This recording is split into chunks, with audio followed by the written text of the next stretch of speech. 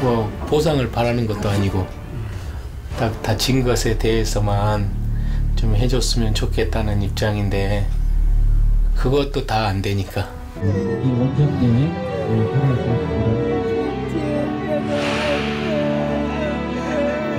살아있습니다.